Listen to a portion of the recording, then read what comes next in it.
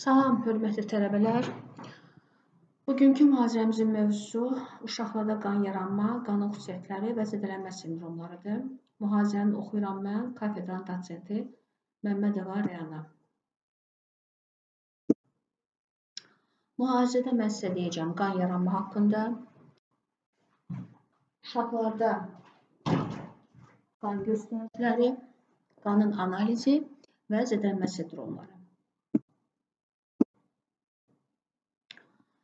Qan yaranma eh, birinci başlayır bu embriondan kənar sarılıq hissəsində 2-3-cü həftədə e, və bu mərhələdə yalnız eritropoez gedir və yaranan eritrositlər nüvəlidir. İkinci mərhələ bu qaraciyər mərhələsidir. 6-cı həftədə başlayır və qaraciyərin qanyarıcı funksiyası get-gedə artır. 5-ci ayda maksimuma çatır və 5-ci aydan sonra azalır. Bu mərhələdə demək yenə də eritropoez gedir yalnız, lakin həm nüvəli, həm nüvəsiz eritrositlər yaranır. Həm də yanaşı 3-4-cü ayda tinusda limfa düyüləri və dağıtı da qan yaranma gedir. Və sümü ilin qan yaradıcı funksiyası 4-cü aydan başlayır. Deməli, qaraciyərin qan yaradıcı funksiyası 5-ci aydan azalır, get-gedə sümü ilin qan yaradıcı funksiyası artır və doğuş vaxtı yeganə qan yaradıcı orqan funksiyasını sümü ili həyata keçirir. Bu qan yaranma mərhələlərinə uyğun da hemoqlobinin növləri yaranır. Yəni ən birinci yaranan hemoqlobin əslində bilirsiniz ki, bu qlobinlər, hemoqlobinlər qlobin zəncirlərinə görə fərqlənir. Yəni e, bu epsilondur, zetadır, e, alfa, beta, gamma zəncirlərdir. Və ən birinci hemoqlobin bu Portland və Gover hemoqlobinlərdir. Bunlara primitiv hemoqlobin də deyilir. Yəni bunlar sarılıq hissəsində yaranır. Qaraciyər qan yaranma mərhələsində artıq fetal hemoqlobin yaranır və get-gedə fetal hemoqlobin artır. 6-cı ayda 90-95% təşkil edir. Sümili mərhələsində isə yetkin hemoqlobin yaranır. Və 5-ci aydan ki, qaraciyərin funksiyası zəifləyir, fetal hemoqlobin azalır, yetkin hemoqlobin isə artır. Və necə ki, doğuş anda əsas qan yaradıcı orqan sümili olur, fetal hemoqlobin də 60% olur, yəni azalaraq 60%-ə düşür, yetkin hemoqlobin isə 40% təşkil edir.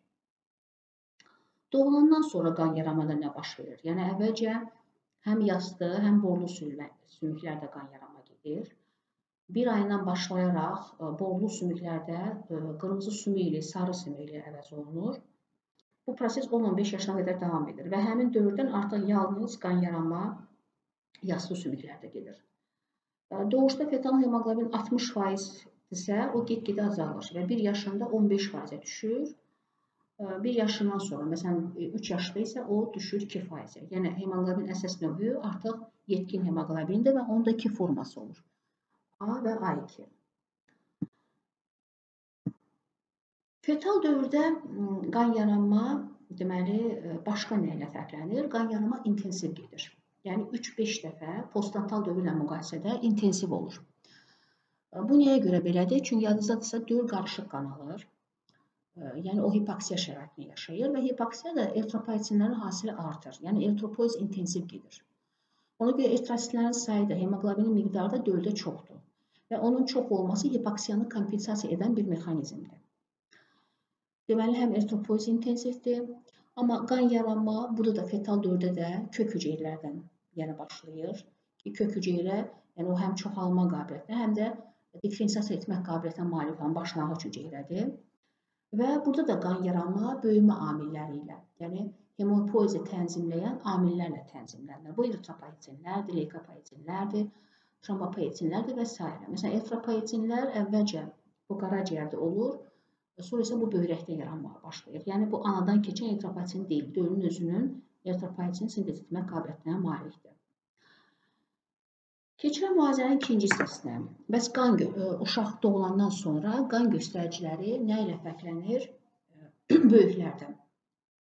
Lövhədə görürsüz bu qırmızı qan göstəriciləridir. Yəni qanın ümumi həcmi verilib, hemoqlobinin miqdarı, eritrositlərin miqdarı, rəng göstəricisi, hematokrit. Bunların hamısı yeni doğmuşda, yəni ilk günlər, sonrakı günlərlə müqayisədə yüksəkdir. Nəyə görə yüksəkdir? Mən mühazirənin birinci hissəsində izah elədim. Çünki fetal dövrün göstəriciləridir və fetal dövrdə dön, döl hipoksiya şəraitində yaşayır. Yəni bunun səbəbi hipoksiyadır ki, orada eritropoez intensiv gedib. Amma uşaq doğulandan sonra elə ilk gündən başlayaraq bunlar azalır. Yəni həm eritrositlərin sayı azalır, həm hemoqlobin azalır. həm hematokrit azalır, retikusitlər azalır. Bu niyə baş verir? Niyə bu azalma gedir? Birinci səbəb odur ki, bətin daxili hipoksiya aradan götürülür. Yəni artıq ağciyər tənəffüsü yaranır, hiperoksiya onu əvəz edir. Deməli, eritropoyetinlərin hasili azalır və eritropoyetin intensivliyi də azalır. Yəni, əvvəlki kimi çox hasil olmur. Bir səbəbi budur.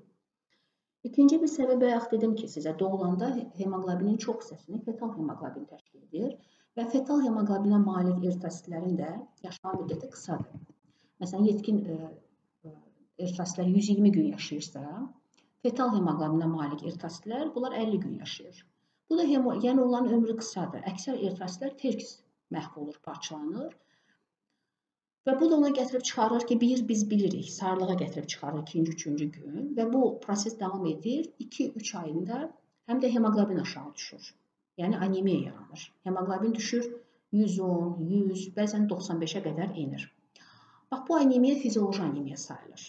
Yəni 2-3 ayında yaranan anemiya, buna südəmər dövrü fizioloji anemiyası deyilir və səbəbi bir səbəbi fetal hemoqlobinə malik eritrositlərin olması, digər səbəbi isə eritropoezin intensivliyinin azalmasıdır.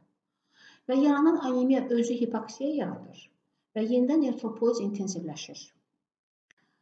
Və təkcə bu səbəbdən yox, həm də ə, deməli uşaq rasion, qida rasionuna da dəmirlə zəngin qidalar daxil edilir. Yadınızdadır, qidalanmada biz keçmişdik. Əvvəlcə uşaq ilk aylarda ana südü alır.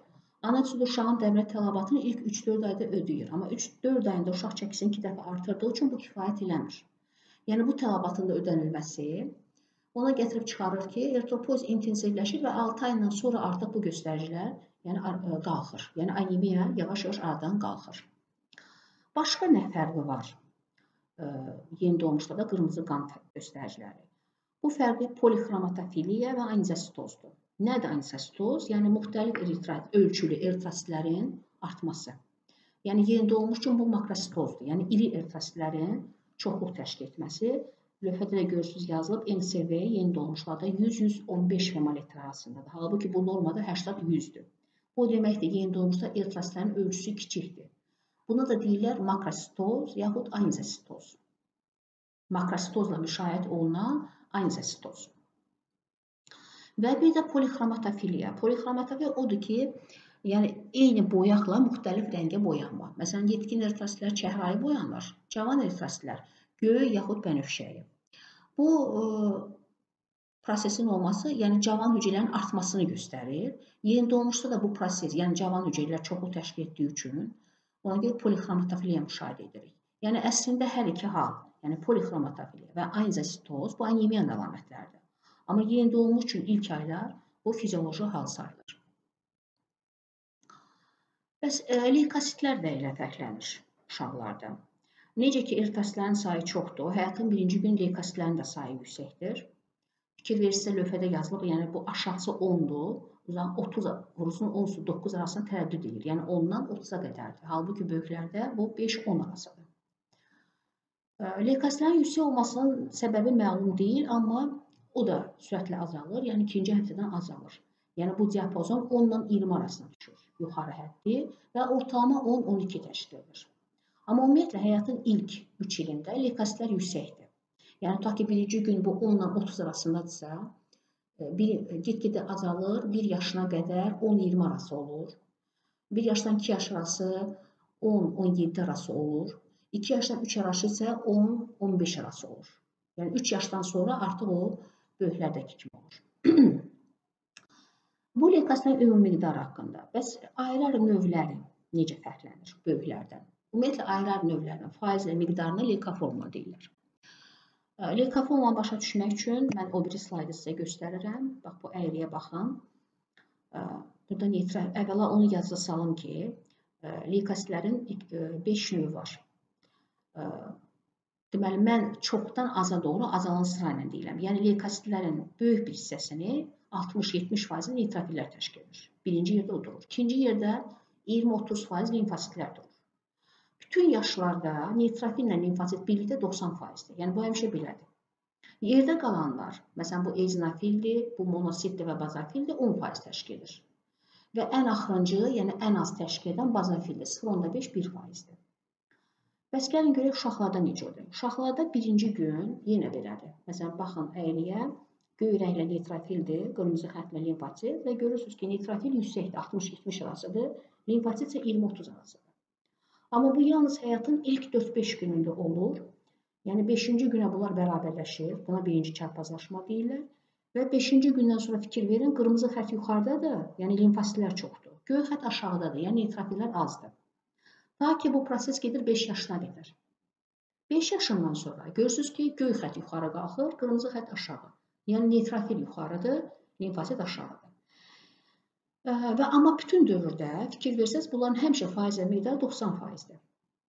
Hətta onların çarpazlaşan vaxtı da ikisi həvəsi 45%dir. Yəni birlikdə bunlar 90%dir.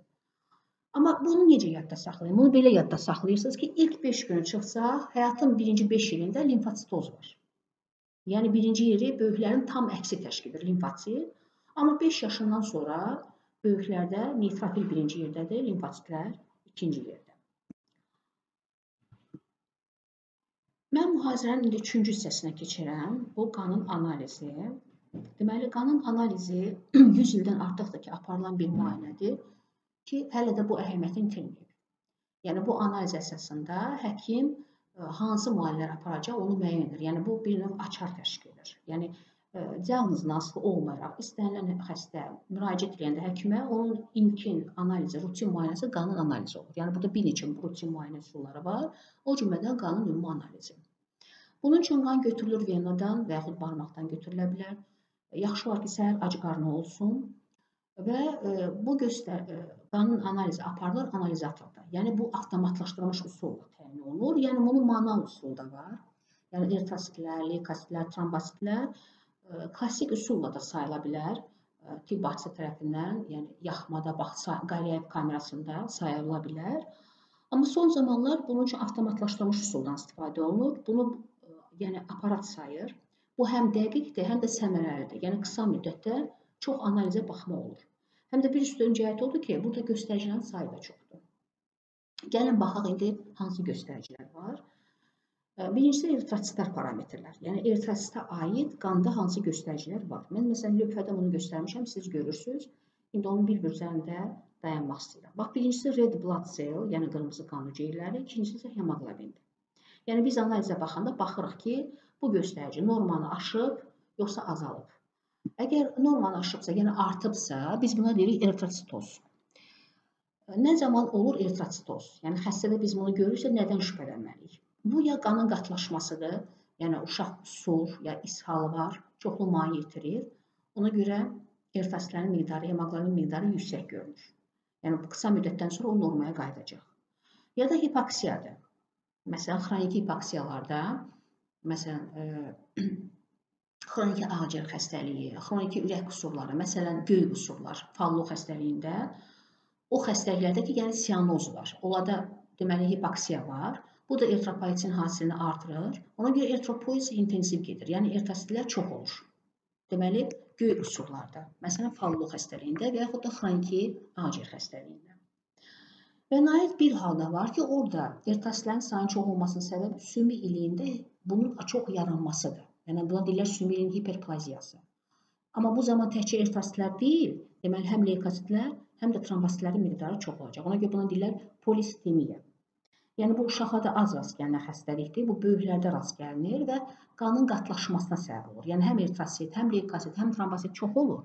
Ona görə bunlarda infarktlar müşahidə olunur. İndi ikinci bir hal. Eritrositlər və hemoqlobin azalıb. Bu bizim bildiyimiz anemiyadır. Yəni ən çox biz bu hala rast gələcəyik. Bunun üçün əsas kriteri hemoqlobindir. Hemoqlobin 110 qram litrin altındadırsa, biz anemiya deyirik. Yeni doğmuşlarda 130-un altındadırsa, bu anemiyadır. İndi gəlin görək anemiya neçə cür olur? Yəni hansı anemiyalar var? Yəni e, yaranma səbəbinə görə var qan itirmədən yaranan anemiya. Biz buna deyirik poshemoragik anemiya. Var defitsit anemiyalar, məsələn zulalın, dəmirin, B12-nin, folun çatışmazlığı nəticəsində yaranan anemiyalar. Bunlara deyirlər defitsit anemiyalar. So var sümükliyinin aplaziyası, yəni yarada bilmir. O zaman e, bütün qanın formal elementləri azalır. Yəni təkcə eritrositlər yox, leykosit də, trombosit azalır. Buna deyirlər panstopeniya. Belə anemiya deyirlər aplastik anemiya. Və nəhayət dördüncü anemiya ertasilərin ömrü qısalır, yəni hemoliz gedir. Buna deyirlər hemolitik anemiyalar. Bundan başqa anemiyalar bir də ayırd olunur ertasilərin ölçüsünə görə və rəng göstəricisinə görə və sümüylinin regenerasiya qabiliyyətinə görə. Yəni bunları da mən qan analizini dedikcə, yəni sizə izah edəcəm. Məsələn, ertasilərin ölçüsünə görə mən dedim ki, anemiyalar diferensiasiya təsnif olunur. Yəni, bunu necə bilirik? Ertasinə ölçüsünü göstərən analiz MCV-dir. Mean Cell Volume. Bu ertasinin həcmidir. Yəni, normada 80-100 femolitr arasındadır. Anemiya, yəni bu yalnız anemiya vaxtı dəyişir ertasinin ölçüsü. Ona görə başqa bir xəstəlik yoxdur ki, yəni anemiyanın istisna olmaqla orada ertasinin ölçüsü dəyişsin. Ona görə bu anemiya olanda bu rast gəlinir və bizə həm də kömək edir anemiyanı diferensiasiya eləməyə. Yəni bu göstəriciyə görə bayaq sizə qeyd elədim. Anemiya var mikrositar, makrositar və normositar. Yəni xəstədə e, bu göstərici 100-ü keçibsə, biz buna deyirik makrositar anemiya. Bəs hansıdır makrositar anemiyalar? Yəni hansı anemiya da Yəni o biz bayaq yaranma səbəbinə görə dedik və onlardan hansıdır ki, orada MCV 100-dən yüksək olur? Bu B12 və Foldestit anemiyadır. Bunlara megaloblas anemiya deyirlər ki, orada MCV 100-ün üstündə olur. MCV kiçikdirsə, 80-ın altındadırsa, biz buna deyirik mikrositar anemiyalar. Bura isə aiddir dəmir defisit anemiyalar, talassemiya və qurğuşun intoksikasiyası. Yerdə qalan anemiyalar, yəni aplastik anemiyalar, yerdə qalan normositar anemiyalardır.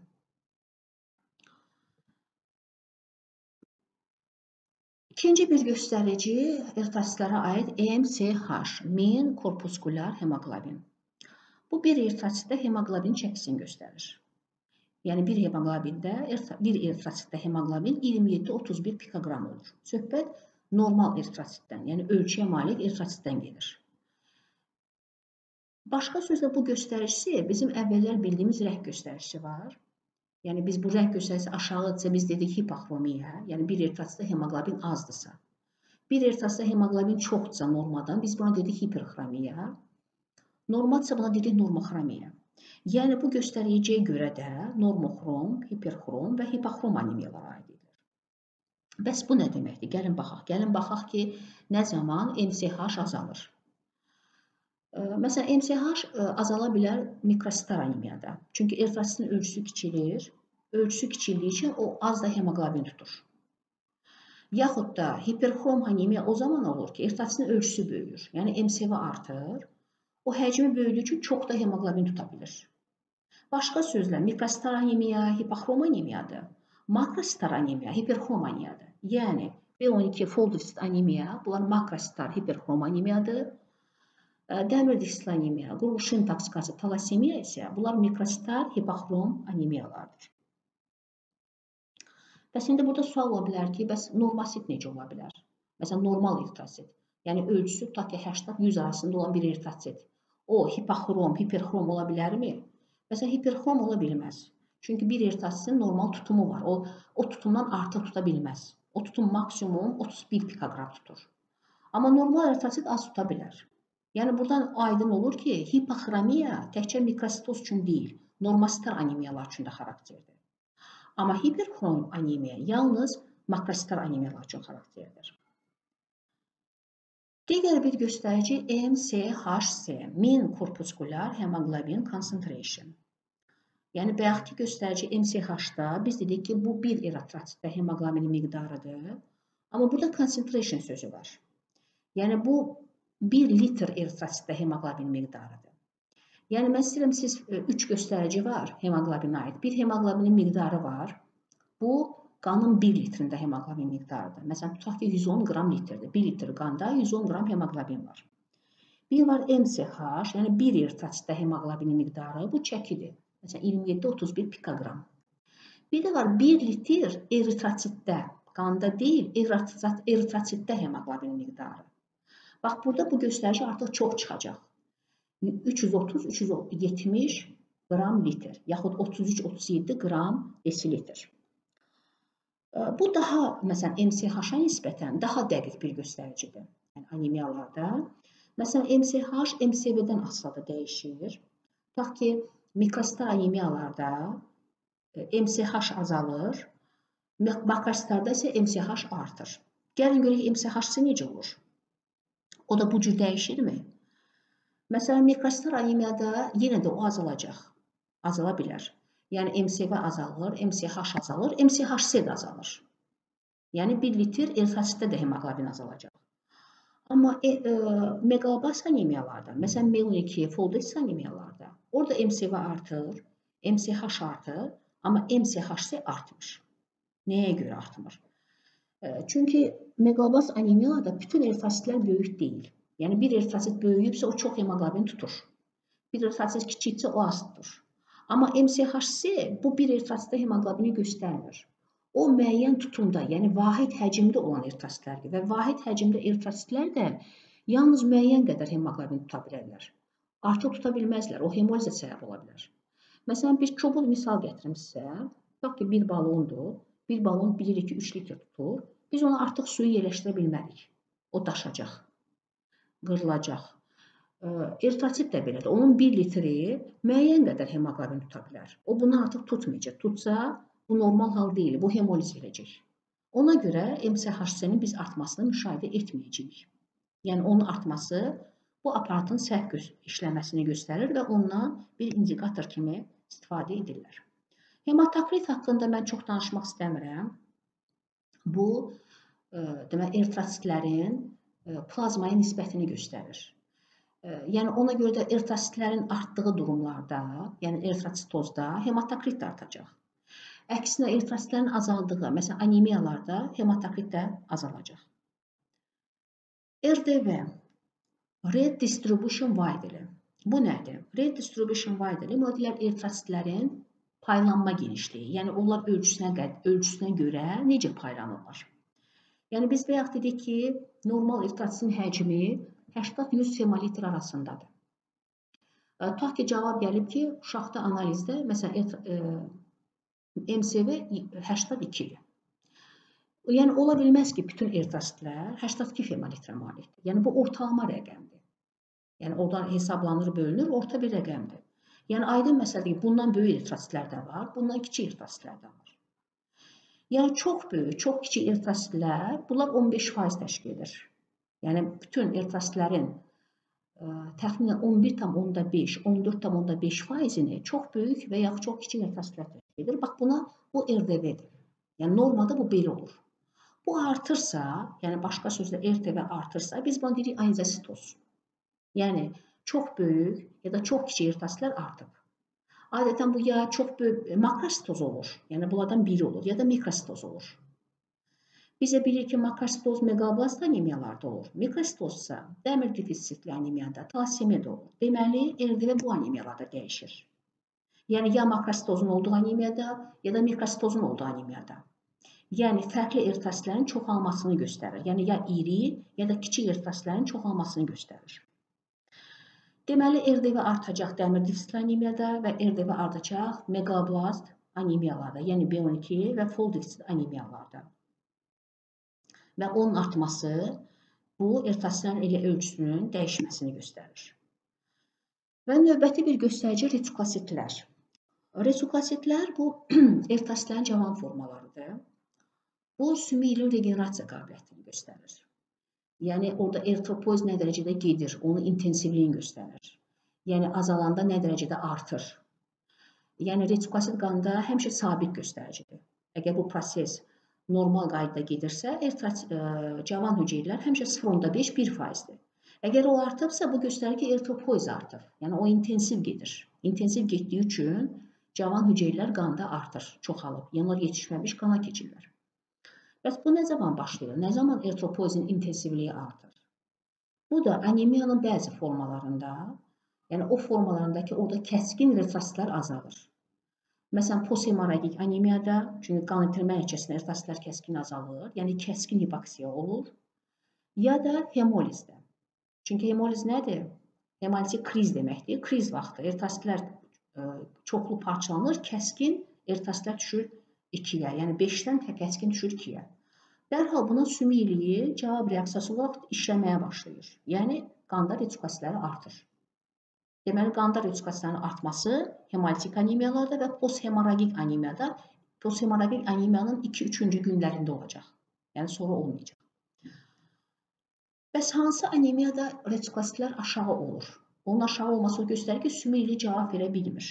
Yəni qanda hipoksiya var, amma bu hipoksiya cavabı olaraq bu proses getmir. Bu olacaq aplastik anemiyalarda.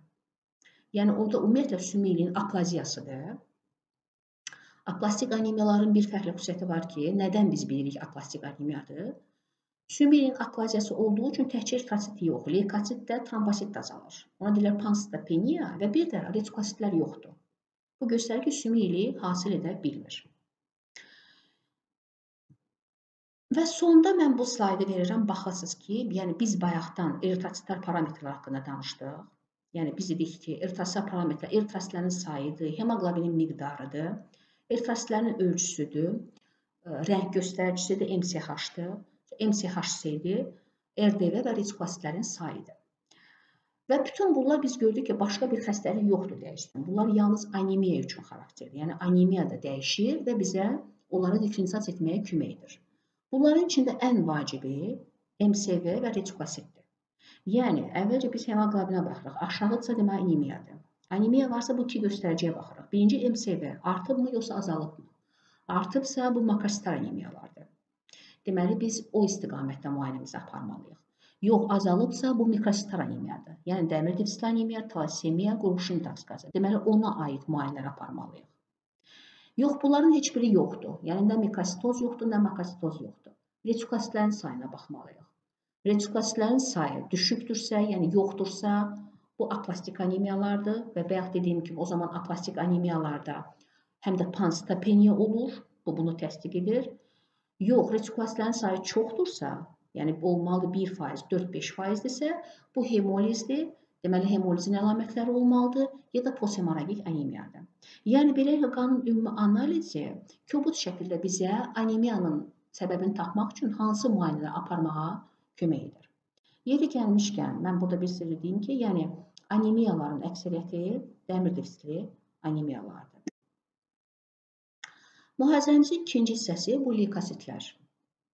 Qanın analizində leykositlərin biz baxırıq. Nəyə baxırıq? Əvvəlcə leykositlərin ümumi miqdarına.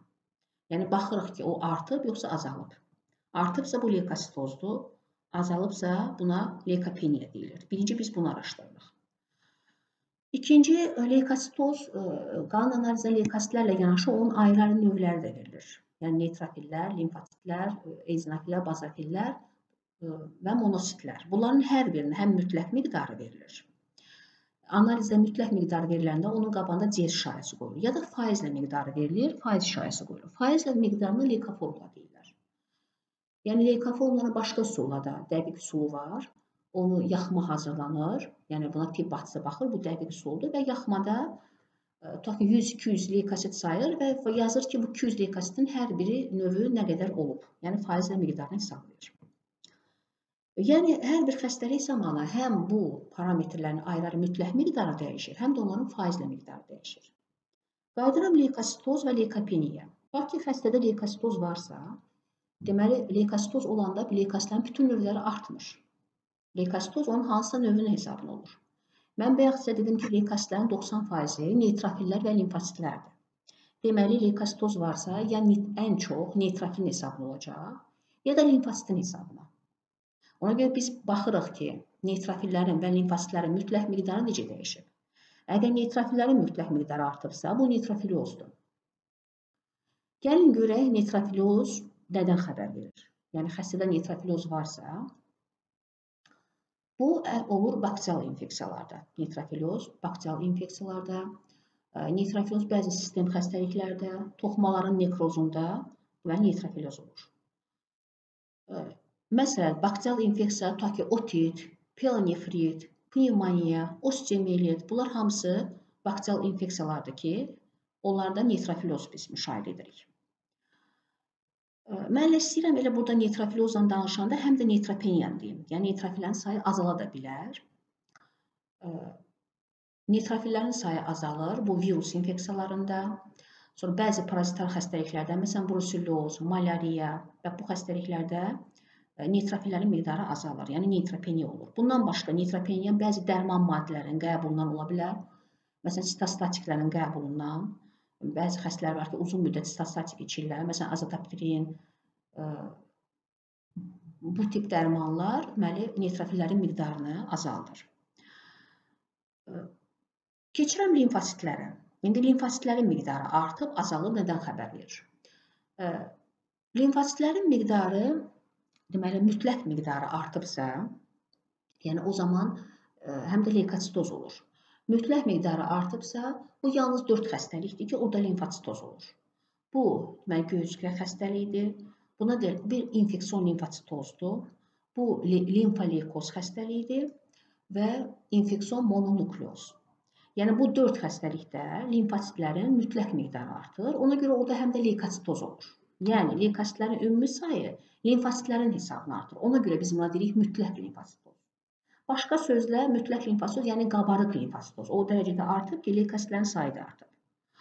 Amma əksər xəstəliklərdə, məsələn, biz limfositlərin görürük ki, faizlə miqdarı artıb, amma limfositlərin mütləq miqdarı artmayıb. Nəyə görə bəs faizlə miqdarı artıb? Yəni o zaman leykositlərin miqdarı da artmayıb. Bu adətən hansı hallarda olur? O hallarda ki, mən bayaqsa neytropeniya dedim. Yəni bəzi virus xəstəlikləri, məsələn qızılca, məxmərə, su çiçəyi, sonra bruselyoz, toksoplazmoz, malariya, yəni bunlarda neytrofillərin sayı azalır. Və neytrofillərin sayı azaldığı üçün, yəni bunlarda e, leykositlərin faizlə çox hissəsini limfosit təşkil edir. Çünki leykositlərin ümumi miqdarı artımır. O ya azalır, ya da e, qalır, olduğu kimi qalır. Və neytrofil azaldığı üçün limfositlərin faizlə miqdarı çox çıxır. Amma onların mütləq miqdarı yüksəlmir. Bax, buna deyirlər nisbi limfositoz.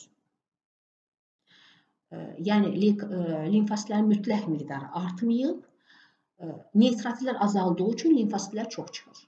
Bax, bu o xəstəliklərdir, bayaq dediyim viral infeksiyalar. Məsələn, qızılca, məxmələ, su çiçəyi, epidparatiit, kəskin respirator virus infeksiyaları, virus hepatiti, bruselyoz, toksoplazmoz, malariya, bax bu xəstəliklərdə neytrofillər azaldığı üçün onlarda limfositlərin faizlə miqdarı çox çıxır. Və ona görə də leykositoz da olmur. Çünki leykositlərin böyük hissəsi olan neytrofillərin miqdarı azdır.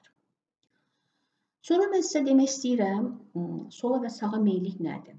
Biz adətən buna baxırıq leykositoz olanda, yəni neytrofiloz olanda sola və sağa meyillik anlayışından istifadə edirik. Ən çox sola meyillik. Yəni siz bilirsiniz ki, qanda neytrofillərin e, bir segment nüvəli neytrofilləri var və onların nisbətən cavan formaları var. Buna deyirlər cavan neytrofil və çubuq nüvəli neytrofillər. Cavan neytrofillər bu 0.5%-dir, çubuq nüvəli neytrofillər 1-3%-dir. Və 55-60% isə segment nüvəli neytrofillərdir. Adətən neytropoiz intensivləşəndə, mən sizə buna eritropoiz də demişdim ki, e, intensivləşəndə cavan formalar artır. Məsələn, bakterial infeksiyada neytrofillərin sayı artanda həm də onların cavan formaları da artır. Yəni neytropoiz aktivləşir. Buna aktiv neytropoiz deyilir. O zaman çubuq nüvəllər də artır, cavan neytrofillər də artır. Yəni biz bunları sıra ilə cavandan yaşlıya doğru yığsaq, yəni onlar solda yerləşdiyi üçün deyirlər sola meyilli. Yəni sola meyilli bu aktiv müdafiə qabiliyyətini göstərir ki, neytrofillər artır və onun cavan formaları da artır. Burada bir də mən göstərmişəm leykemoid reaksiya. Mən istəyirəm bunu da izah edəm. Leykemoid reaksiya nədir? Yəni mən bayaq dedim ki, bayaq leykositoz olanda həm də sola meyillik olur, cavan formalarda artır. Bu neytrofiloz üçündür. Lakin bəzən leykositoz da kəskin olur və sola meyillik də kəskin olur. Yəni bir var qanda olan cavan hüceyrələr, neytrofillər, məsələn, çubuq nüvəllər, cavan neytrofillər onlar artır.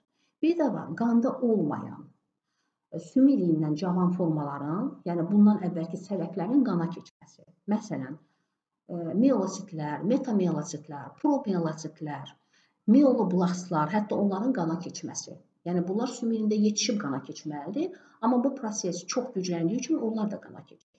Bax buna deyirlər kəskin sola meyillik. Yəni qanda olmayan sələf hüceyrələrinin də artması. E, kəskin sola meyillik və kəskin leykositoz isə Buna biz deyirik leykemoid reaksiya. Niyə bu belə adlanır leykemoid reaksiya?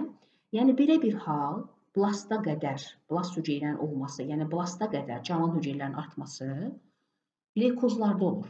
Leykoz sümük ilin şişidir. Yəni bu ağır bir xəstəlikdir. Biz burada ilin punksiya eləməli oluruq. Amma bu həmişə leykoz demək deyil. Bəzən olur ki, belə kəskin suala meyillik olur, amma biz ilin punksiya eləyirik. Leykoz təsdiqlənmir.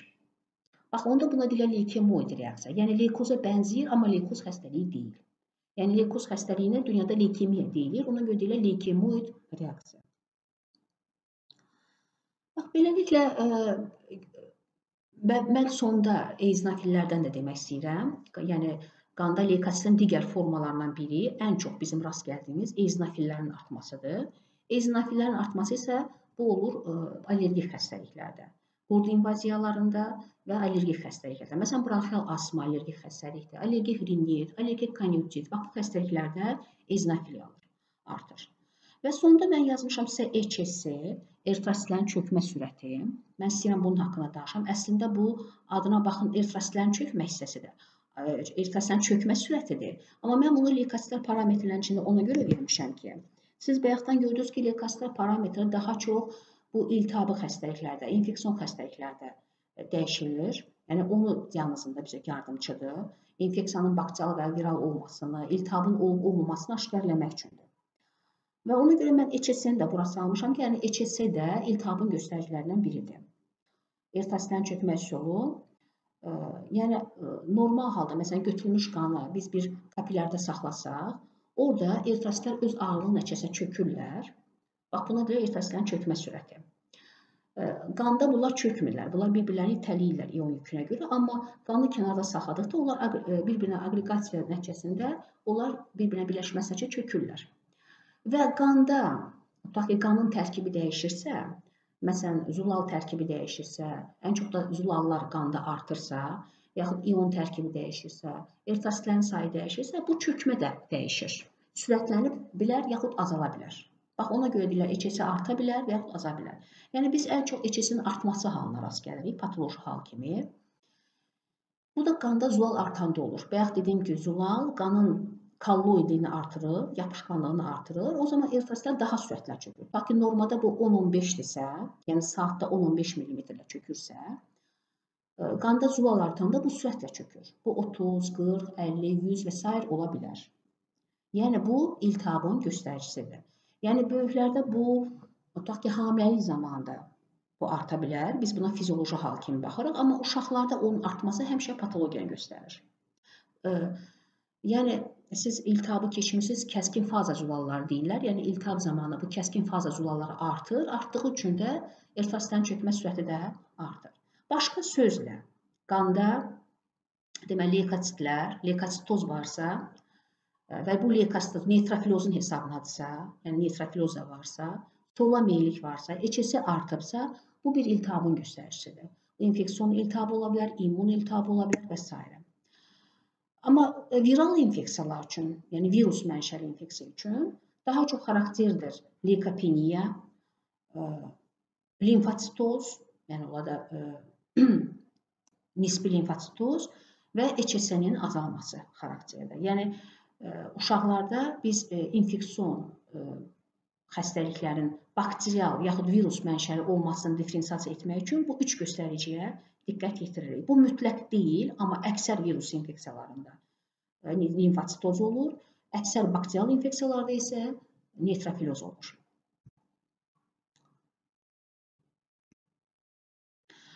Mühasirədən və nəhayət gəlirəm qanun analizində biz üçüncü hissə trombositlər parametrlərdir. Görək trombositlər nə zaman dəyişir? Qanun analizində trombositlər bu cür göstərilir. PLT, platelet. Və görürsünüz ki, normada onun miqdarı 150-300 vurulsun 10-9 litrdir.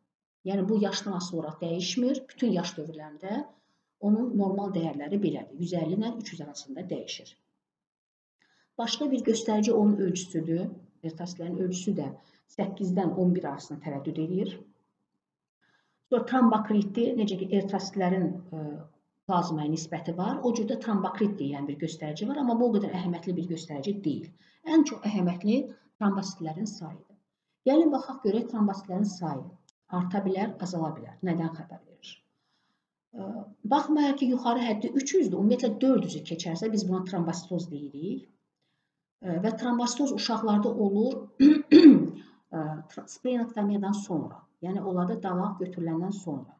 Yeri gəlmişkən, çünki trombositlərin parçalanması dalaqda gedir. Onların trombositoliz orada başlayır və dalağa götürəndə trombositoz baş verir, yəni o artır. Dalağın götürülməsi isə yalnız bir xəstəlik var, idiopatik trombositopenik purpura.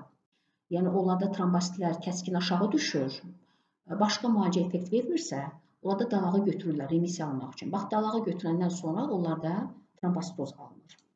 Bir də trombositoz ola bilər polisitemiya xəstəliyində. Bayaq sizə dedim ki, eritrositlərin sayı çoxalır və dedim ki, orada təkcə eritrositlər olmur, həm də trombositlər, həm də leykositlər, onların hamısı artır. Çünki sümüyün hiperplaziyasıdır. Bax, burada da trombositoz ola bilər.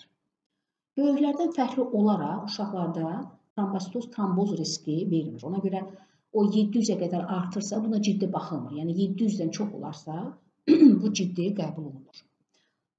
Trombositlərin azalması da rast gəlir. Yəni uşaqlar üçün bu daha çox aktualdır. Mən onun üzərində dayanmaq istəyirəm.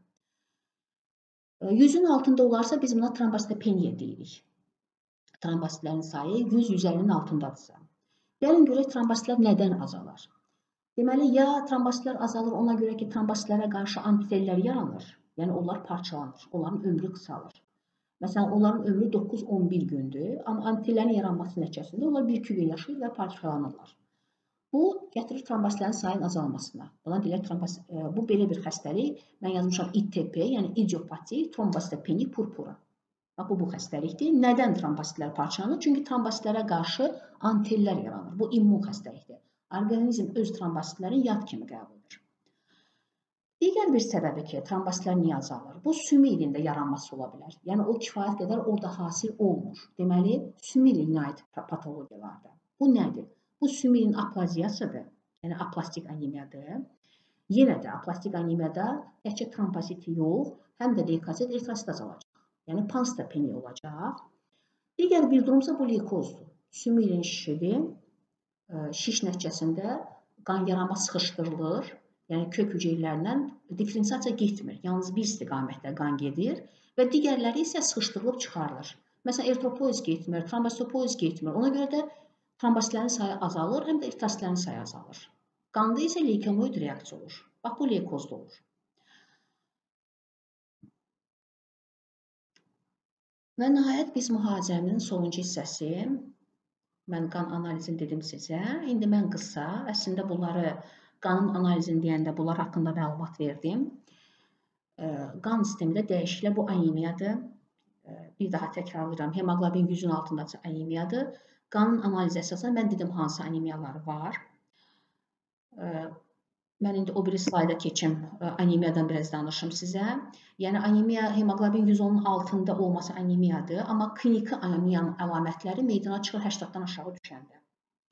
Yəni nə hipoksiya onda yaranır 80-dan aşağı düşəndə və onun klinik əlamətləri də elə hipoksiyadan yaranan əlamətlərdir. Bu solğunluqdur, bu halsızlıqdır, bu baş ağrılarıdır. Çünki hipoksiya ən həssas orqan sinir sistemidir. Uşaq dərsini pis oğruyur, yorğundur, baş ağrıyır və s. Hipoksiya cavab olaraq təng nəfəslik, hipoksiya cavab olaraq taxikardiya, hipoksiya anemiya nəticəsində sistolik küylər, biz bunlar funksional küylər deyirik və ağır hallarda dalaq qaraciyərin böyüməsi. Yəni bu anemiyanın kliniki əlamətləridir. Mən sizə dedim ki, ümumiyyətlə yer üzündə, yer kürəsində insanların 40%-də anemiya var və bunun 90%-i dəmir defisitli anemiyadır. Xüsusən də 3 yaşa qədər uşaqlarda ən çox dəmir defisitli anemiyaya rast gəlinir. Çünki uşaq inkişaf etməkdə olan orqanizmdir. Ən sürətli böyümə həyatın birinci 3 ilində gedir. Və o dövrdə dərinmə tələbat da çoxdur. Və dəmir tələbat da bu qidalanma ilə ödənilir endogen bir ehtiyat var. Bir də xaricdən bu daima dəmir daxil olmalıdır. Və kifayət qədər ödənilmirsə, daxil olmursa, o tələbatı ödəmirsə, onun çatışmazlığı yaranır, anemiya səbəb olur. Mən bayaq sizə qan analizində demişdim. Yəni dəmir defisitli anemiya bu mikrositar hipoxrom anemiyadır. Yəni burada nə olur? MCV də azalır, MCH da azalır, MCHC də azalır, LDV də artır. Yəni anizasitoz olur. Amma eyni şey talassemiyada da ola bilər. Ona görə diferensiasiya üçün, əmin olmaq üçün ki, bu zər ə, e, dəmir defisitli anemiyadır, qanda dəmir və ferritin təyin olunur. Yəni onun azalması anemiyanı təsdiq edir. Anemiyanın digər ə, e, bir növü hemolitik anemiyalardır. Yəni hemoliz burada baş verir. Yəni eritrositlər çox parçalanır. Yəni bu səbəbdən də anemiya yaranır. Yəni eritrositlər parçalandığı üçün azalır. İndi bu anemiyanı başqa anemiyadan fərqləndirən odur ki, eritrositlər parçalananda sərbəst bilirubin xaric olur. Ona görə də həm də sarılıq meydana gəlir. Deməli bu anemiyanın xarakter əlaməti nədir? Hemoqlobin aşağı düşməklə yanaşı sarılıq və biz qanun analiz verəndə görürük ki, bu sarılıq sərbəst bilirubinin artması hesabınadır. Və dalaq e, böyüyür, çünki ən çox hemoliz dalaqda gedir, bəzən də qaraciyər, ona görə hepatospleya megaliya baş verir. Və bir də ə, e, hemolitik anemiyalar səbəbinə görə hemolitik anemiyalar. Bu ə, e, ya nədən hemoliz gedir? Çox vaxt irsidir. Ya eritrositlərin membranda defekt var, Məsələn, buna deyirlər sferositoz xəstəliyi, elliptositoz xəstəliyi, ovalositoz və s. Yəni membranda defekt olduğu üçün onlar hemoliza uğrayır. Ya eritositin fermentinin çatışmazlığı var. Yəni ən çox burdan rast gəlinir favizm xəstəliyinə. Buna deyirlər qlukoza 6 fosfat dehidrogenazanın defekti. Yəni onlarda bu fermentin çatışmazlığı eritositlərin parçalanmasına səbəb olur. Ya da eritrositlərdə hemoqlobinin patoloji formasıdır. Məsələn, talassemiyada və yaxud orakvari anemiyada. Bax, bunlar hamısı hemolitik anemiyalardır. Yəni, hərəsində bir səbəbdən hemoliz gedir. Yəni, bunların hamısında sarlıq olur. Bunların hamısında ə, anemiya olur, retikositoz olur. Çünki biz dedik ki, hemolizdə eritropoz intensivləşir, kriz vaxtı retikositoz olur, dalaq və qaraciyər böyüyür. Bax, buna deyilər hemoliz sindromu. Yəni, hamısında ümumi əlamətlər hemolizin əlamətləridir. Amma hər biri üçün də müəyyən morfoloji dəyişikliklər də olur. E, hemolitik anemiyalarda. Məsələn, serositozda eritrositlər kürə şəklində olur. Ovalositozda oval şəklində, elliptositozda ellips şəklində olur. Talassemiyada o hədəf şəklində olar. Deyirlər nişan şəkilli eritrosit, hədəf eritrositlər. Orakvarda orakvari şəklində olur. Yəni bu ə, e, e, forma dəyişikliklərinə, morfoloji dəyişiklikləri yaxma hazırlanır. Yaxmada orada eritrositlərin morfologiyasına baxılır, orada aşkar olunur. Buna deyirlər periferik yaxma. Yəni bu ümumi analizdə müəyyən olunmur. Bu hala isə, yəni eritrositlərin formaca belə dəyişən poikilositoz deyilir. Yəni hemolitik anemiyalar üçün həm də poikilositoz, yəni eritrositlərin formasının dəyişməsi xarakterdir. Qaldı anemiyanın bir növü ki, aplastik anemiyalar. Mən bayaq bir də təkrarlayıram. Nədən biz bunu fərqləndiririk? Panstopeniya. Yəni eritrositlər, leykositlər, trombositlər hamısı azalır. Retikositlər yoxdur və sümeyində funksiya eləyəndə görürük ki, sümeyin aplaziyası var. Yəni nəinki periferik qanda. Onların sərhədləri də sümeyində azdır. Yəni bu bir daha təsdiq edir ki, bu aplastik anemiyalardır. Növbəti zədələnmə sindromlarından biri leykozdur. Leykoz bu sümeyin şişidir. Bayaq dedim sizə kök hüceyrələrin şişidir. E, kök hüceyrələr həm çoxalma, həm diferensiasiya etmə qabiliyyətinə malikdir. Onlar diferensiasiya edə bilmir, yalnız bir istiqamətdə çoxalır. Ona görə qanda nə olur? Leykositoz olur, kəskin leykositoz və onun cavan hüceyrələrdə qana keçir, yəni blast hüceyrələr qanda olur. Digər qan yaranma isə, yəni diferensiasiya getmədiyi üçün eritropoez, trombositopoez getmir. Deməli, periferik qanda eritrositlərin sayı azalır, yəni anemiya olur. Trombositlərin sayı azalır, yəni trombositopeniya olur. Amma ə, kəskin leykositoz olur, blast hüceyrələr olur, limfa düyünləri, dalaq, qaraciyər böyüyür. Və sümeyrin funksiyasında deməli blast hüceyrələrinin artması müşahidə olunur. O zaman diaqnoz təsdiqlənir.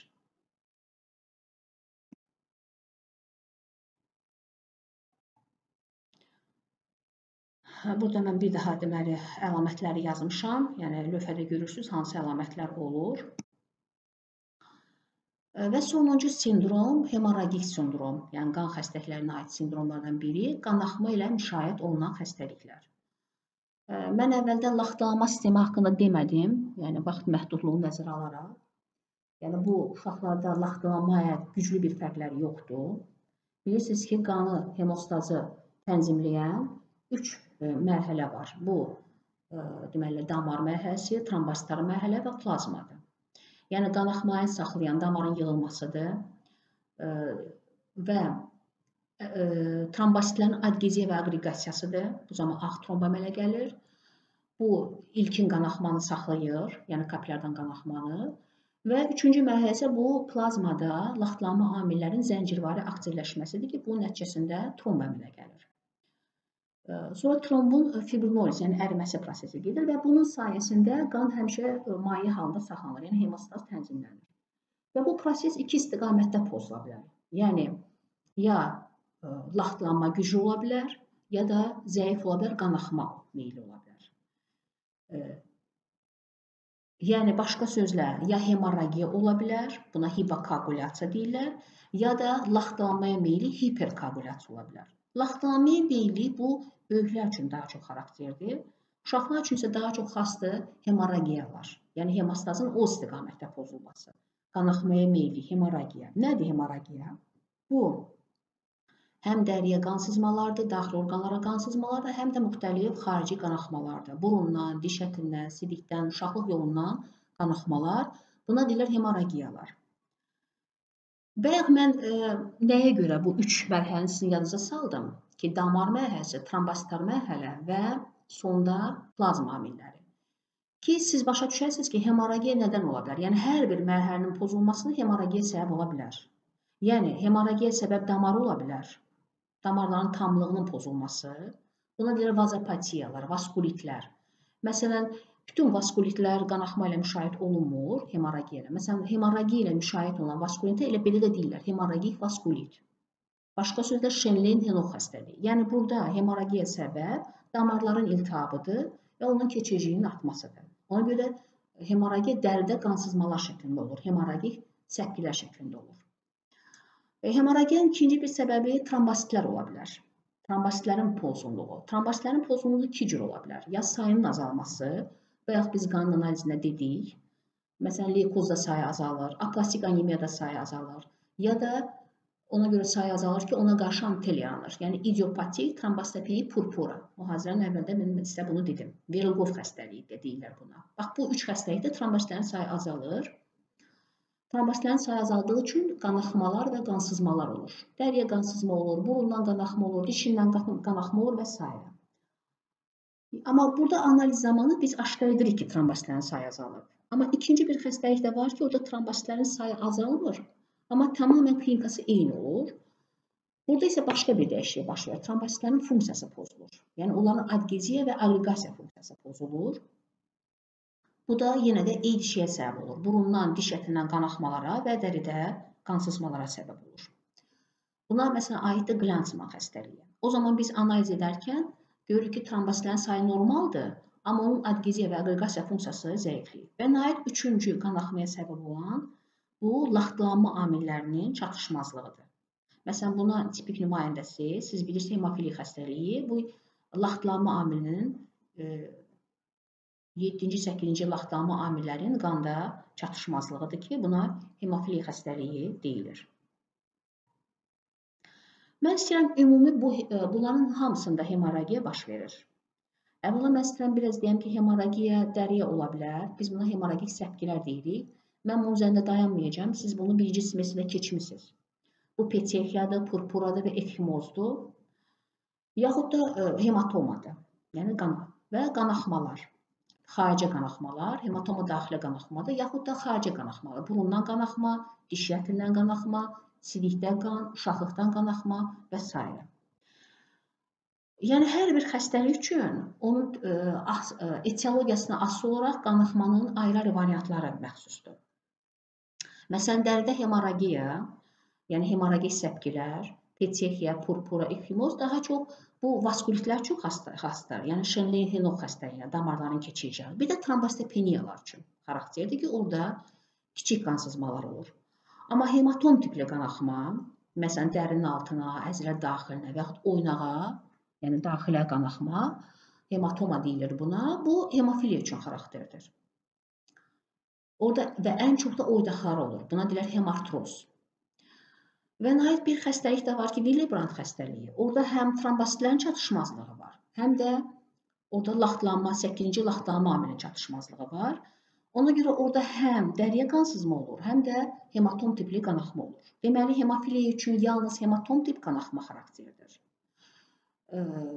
Trombositar, trombositar xəstəliklər üçün dəriyə qan sızmaları xarakteridir. Amma Willebrand xəstəliyində hər ikisi ola bilər.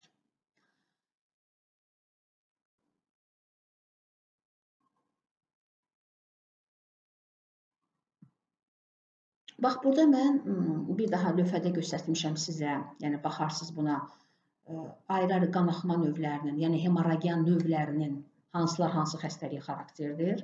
Yəni baxırsınız hematom tip, bu hemofiliya üçündür, PTHL tip, bu trombositar xəstəliklər üçündür.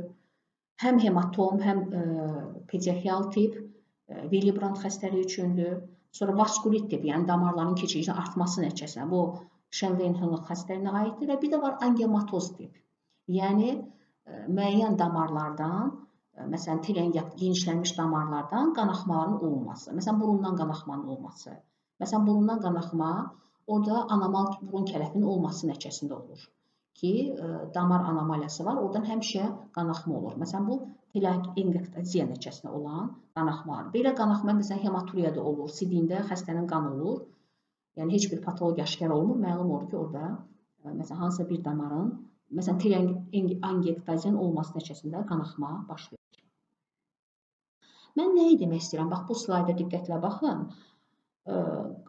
Hemorragik sindromda müayinələr, yəni hansı müayinələr, ilkin müayinələr aparılmalıdır? Tutaq ki, bir xəstədə dəriyə qansızma var, yaxud burundan diş ətindən qanaxma var. Rutin müayinə olaraq nə aparılır? Burada deməli, trombositlərin sayıdır. Bu qanun ümumi analizində bilirik. Sonra qanın laxtlanma müddətidir, qanın axma müddətidir damarların rezistentliyi də mən bunların hamısını yazmışam və sonda yazmışam aktiv parsial tromboplastin time. Tromboplastin vaxtı. Yəni aktiv parsial tromboplastin time bu ingiliscə yazılıb və tromboplastin time iki analizdir. İstəyirəm bunlar haqqında biraz sizə məlumat verim. Trombositlərin sayılmasını siz bildiniz. Yəni biz sayırıq, sayı azalıbsa bu trombositopeniyadır və biz bilirik ki, nəyə görə orada hemorragiya var, səbəbi araşdırılır. Yəni bu hemofiliyada olmayacaq. Bu idiopatik trombosepik purpurada, bu olacaq leykozda, aplastik anemiyada, məsələn, qanaxmaların səbəbi trombositlərin sayının azalmasıdır. Qanın laxtlanma müddəti var, bir də axma müddəti var. İstəyirəm bunu sizə izah edəm. Laxtlanma müddəti Lioit üsulü 5-10 dəqiqədir. Yəni götürülmüş qan kənarda 5-10 dəqiqə müddətində o laxtlanmalıdır. Yəni bu müddət uzanırsa, məsələn 20 dəqiqə keçir, 30 dəqiqə, 40 dəqiqə müddətində qan laxtlanmırsa, bu nədən xəbər verir? Bu laxtlanma amillərinin çatışmazlığını göstərir. Yəni bu trombositopeniyada olmayacaq. Bu Şenlein-Honol xəstəliyində olmayacaq. Bu yalnız koagulopatiyalarda, məsələn hemofiliya xəstəliyində. Orada 8-ci, 9-cu laxtlanma amilinin çatışmazlığıdır. Ona görə qanın laxtlanma müddəti, yəni qan gec laxtlanır. Digər bir analizdə qanın axma müddətidir. Bax, Duke üsulu bu 2-4 dəqiqədir. Bu nə deməkdir? Yəni barmaq deşilir, və oradan qan axar kapilərdən. Normalda o qanın dayanması 2-4 dəqiqə ərzində dayanmalıdır. Bu müddət uzanırsa, yəni qanaxma uzanıb. Qanaxmanın uzanması ilə laxtlanmanın uzanması eyni şey deyil. Qanaxma nə vaxt uzanır? Qanaxma o vaxt uzanır ki, trombositlərə aid patologiya var. Ya damar, ya da trombosit. Yəni trombositlərin sayı azalır. Trombositlərin keyfiyyət pozğunluğu var. O zaman qanaxma müddəti azalır. Çünki ilkin qanaxmanı saxlayan kapilərdən trombositlərdir. Yəni bu göstərici hemofiliyada uzanmayacaq. Çünki hemofiliyada trombositlərin miqdarı normal olduğu üçün orada düküs ilə qanama müddəti 2-4 dəqiqədir, normaldır. Yəni bu artıbsa bu göstərici, bu trombositar patologiyanı göstərir. Laxtlanma müddəti isə əksinə hemofiliyada artır, trombositar patologiyada normaldır. Çünki orada laxtlanma amillərinin çatışmazlığı yoxdur. Və qaldı sonuncu bir analiz, aktiv parsial tromboplastin time. Bu əslində son zamanlar laxtlama müddətini göstərən bir analizdir. Yəni son zamanlar laxtlama müddətindən deyil, məhz bu göstəricidən istifadə olunur. Yəni bunun artması eynən laxtlama müddətinin artmasını göstərir. Yəni bu olur, onun artması olur hemofiliya xəstəliyində. Bir sözlə, laxtlama müddəti hemofiliya xəstəliyində artır. Qanaxma müddəti orada artmır. Qanama müddəti isə artır. Yəni e, trombositar patologiyalarda, yəni e, söhbət gedir idiopatik trombositopenik purpura, leykoz, aplastik anemiyalar və ə, e, Glanzmann xəstəliyində. Bu qədər mühazirənin çuna çatdı. Diqqətinizə görə minnətdaram.